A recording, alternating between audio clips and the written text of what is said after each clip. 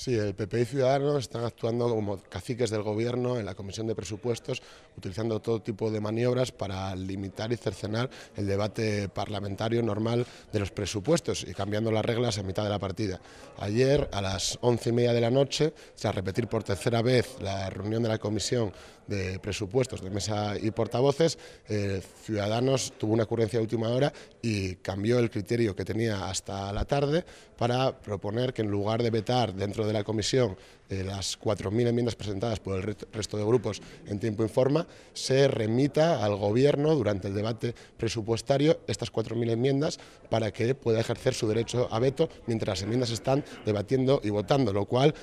genera los mismos efectos que tenía el criterio anterior y a la vez supone mayor inseguridad jurídica, dado que durante el propio debate no se va a saber si las enmiendas que se están votando se van a poder eh, tramitar y ejecutar o no. Eh, estamos acostumbrados a que el Partido Popular eh, obstruya la labor parlamentaria en sus funciones de, control y de, legislación, lo que no sabíamos o lo que nos sorprende más es que Ciudadanos, que supuestamente vino a regenerar la democracia, esté actuando como principal guardián del Gobierno en, este debate presupuestario, obstruyendo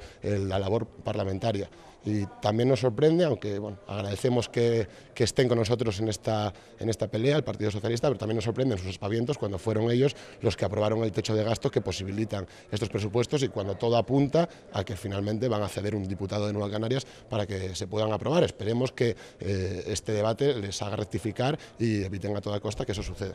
¿Cuál es el siguiente paso, el próximo escenario? ¿Qué va a ocurrir? Porque parece que no hay posibilidad de que PP y Ciudadanos cambien de opinión, ¿no? ¿Van a hacer alguna iniciativa conjunta, ustedes y los socialistas?